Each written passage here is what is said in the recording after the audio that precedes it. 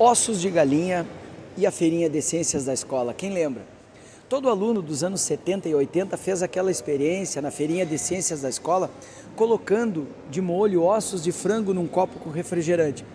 Isso se tornou tão popular na época que chegou ao ponto dos fabricantes de refrigerante virem a público se manifestar sobre as tais experiências escolares.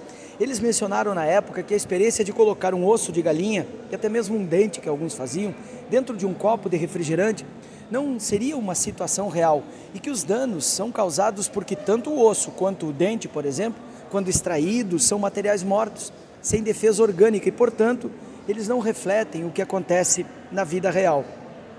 Eu fui um dos que fez a tal experiência e me lembro até hoje dos resultados do meu grupo. Nós tínhamos aí por uns 10, 12 anos naquela época. Depois de uma semana no molho, os resultados foram exatamente esses, eu nunca me esqueci disso. Na água, o osso ficou praticamente igual, só ficou meio desgastado. No vinagre, foi incrível.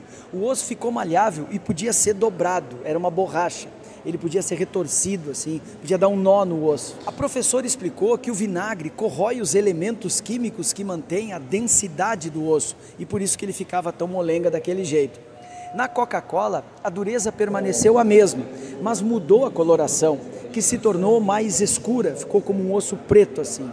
No refri de limão, acho que era o Tim na época, o osso também amoleceu, mas com menos intensidade, apenas nas extremidades. No Guaraná também escureceu e desprendeu as cartilagens. Agora, na Fanta, em dois dias, o osso já estava poroso e no final desmanchou completamente. Dias depois, quando a professora perguntou na prova quais eram, quais seriam os aprendizados que nós poderíamos tirar daquela feirinha de ciências, um dos coleguinhas não teve dúvida e lascou assim na prova. Abre aspas, hein? Só sei de uma coisa: a galinha não pode tomar Fanta. Isso é ciência. O resto, bom, o resto é especulação.